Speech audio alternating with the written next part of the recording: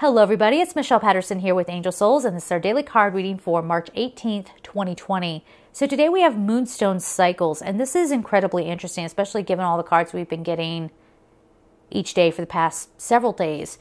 Uh, you know, I think we're being taught that in this cycle, we need to look at our emotional selves, our way of connecting with one another, and agree to let this cycle end the cycle of fear, the cycle of being suspect of your neighbor.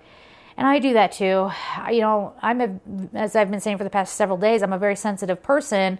And so, you know, I'm always w- waiting for someone to kind of sting me a little bit. And, you know, I, it's hard. It's really hard to kind of go through life expecting, I'm a, a little jumpy, I guess, is what I want to say. I'm a little jumpy sometimes. And what we're being taught uh, about this cycle that we're in, we're in this emotional cycle. We have to look at where we need to take some different turns. How can we embrace our divine feminine energy? Where is our wisdom? How can we connect into our hearts? We had the compassion card a few days ago, too. So, Moonstone says it's time to clear away. It's time to be done these cycles of me against you, our social media days of look how cute I can be, look how awesome my life is. I'm a spiritual guru, and here's what I have to say about that. And yet they never they never show you any part of their life. They're, they're never honest on camera. They get their script written. They stand in front of the camera in their same setup every single time. And they say something that sounds wise, but really is just regurgitating what we've already heard. And you never see them as people. We're ending a cycle maybe not just today, but we're seeing the conclusion of a time where we don't want to just hate on one another. We don't want a facade talking at us. We we want to tap back in and I think heal our humanity, heal humanity as a whole. And we're figuring it out. We're taking steps. And I wonder what happens on this day. I wonder what's going to happen because I feel like a lot of people are going to hit sort of an emotional wall. Now, this can go one way where people numb out and they get kind of um, used to, complacent about what's going on or what's happening in their life and they just stop caring. Or it could go the other way where people wake up and kind of shake out of it and go, wait a minute, this is messed up. Neighbor, what is it that you need? What are you afraid of? I'm afraid I'm not going to get my medicine. Why is that? Well, I can't drive right now. Let me see if I can do something. Let me see if I can help. I'm telling you guys, I live in a very military town, and every military person I've come across in the past, oh my goodness, maybe a month, that they, I want to say it's been going on about a month. I mean, they have the most like they're off in another world.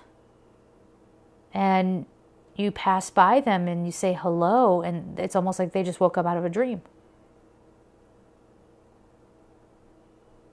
And that's, you know, military, first responders, you know, your police officers, your nurses, your ER doctors, you know, all those people. Those are traumatizing kinds of careers. And so if they're getting overloaded, those are the people that show up and help us right?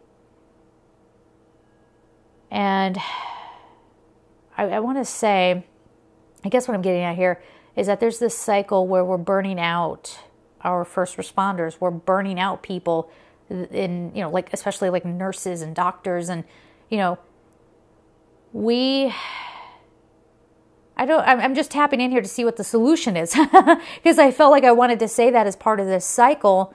Um, we're getting into a cycle where maybe first responders can't respond. or they're homesick. Or there's no medicine. Or there's it's something around that that's coming up. We're getting into a cycle where what we have taken for granted is going to be taken away. Maybe in some cases temporarily but we are this is a big awakening time guys. This is really awakening us to what we've gotten too used to what we've become numb to sure. Um, yeah and i'm just waiting to see.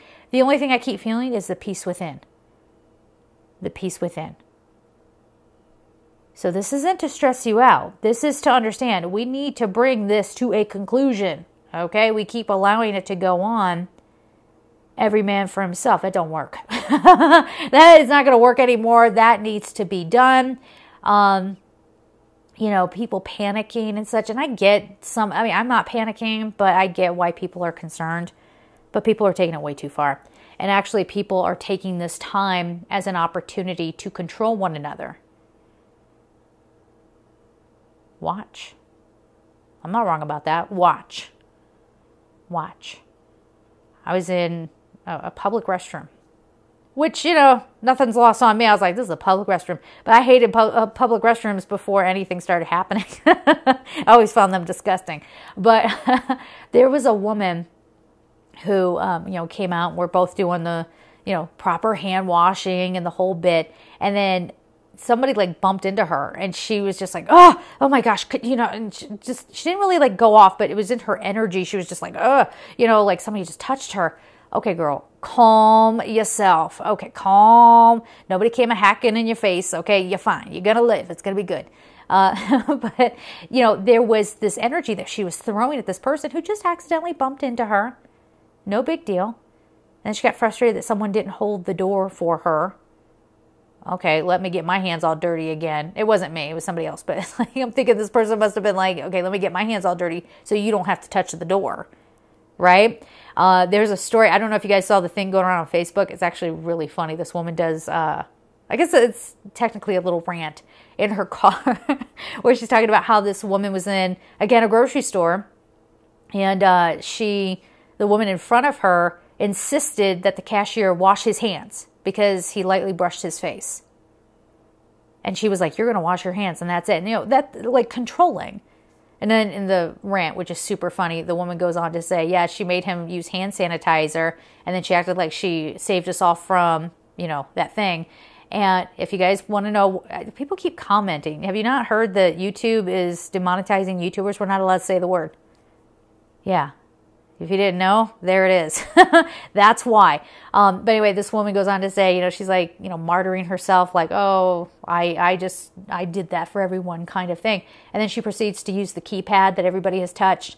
She walks out with groceries that have been handled by numerous people. so I know that was such a great point. But, you know, let this cycle be done. Okay. Let's not keep doing this to one another. Let's not use, um, something that is serious. Yes, absolutely.